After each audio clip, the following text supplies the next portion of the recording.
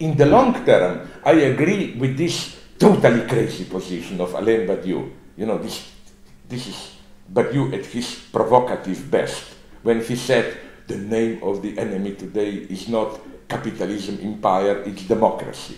But what he meant is not, oh, we need a new totalitarianism. In this, this is what Badiou means with this crazy statement that democracy is the enemy.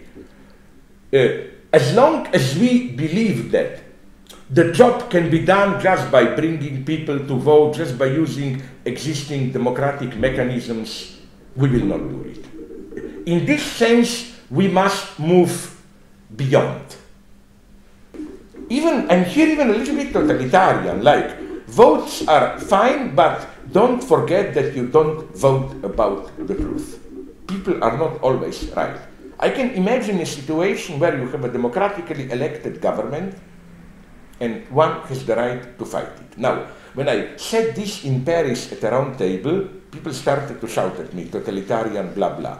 And then I gave them the, an example which was their own. France, 1940. Do you know this is what they try to cover it up? Do you know that Pétain, Vichy government, was fully democratically legitimized?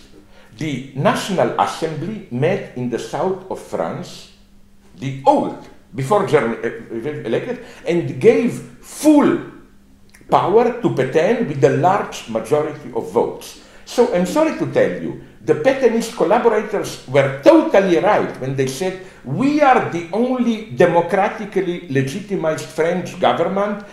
Government, De Gaulle is an impostor.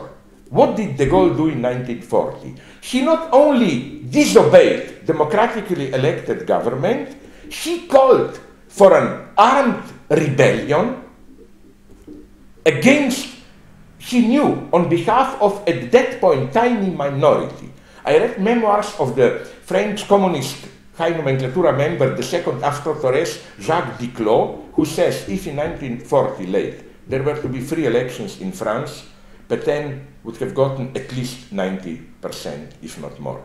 So formally, de Gaulle did something horrible.